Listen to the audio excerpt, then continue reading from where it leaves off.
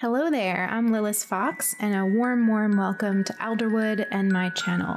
This video is the first in my Animal Crossing New Horizons Let's Play series. I started playing Animal Crossing New Horizons the night it came out, and I put about 800 hours into my first island before completely resetting it just a few days ago. I was feeling a disconnect between what I was doing in the game and what I actually wanted to get out of it. For me, Animal Crossing has always been an escape and a reminder to live simply and slowly. I had lost that focus on my first island by time traveling too much and fixating only on building up new areas just to tear them down again and start over. It had gotten to the point where rarely did I just wander around my island, taking in the sights, fishing, and connecting with my villagers. I had lost touch with what was the heart of Animal Crossing for me, and I wanted to find my way back to it. And so I reset. And with this fresh start, I made myself a few rules to live by.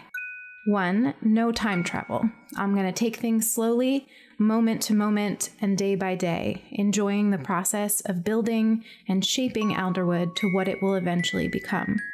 And two, I'm going to revel in the little things.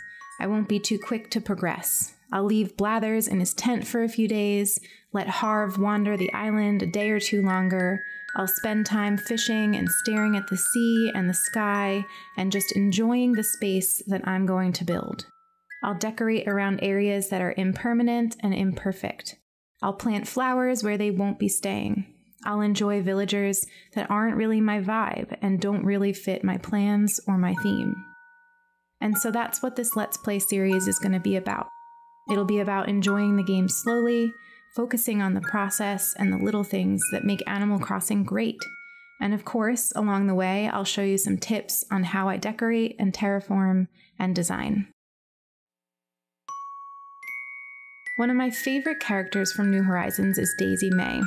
I love her design, of course, I draw her all the time, but I also love how she just ambles around the island, checking out each new space, breathing in the island air, completely unfocused on whether or how she'll sell any turnips that day.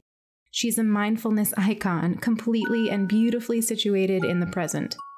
This is a reminder that I often need for myself. It is okay to wander aimlessly, without purpose or focus. It's okay to do things for the joy of doing them.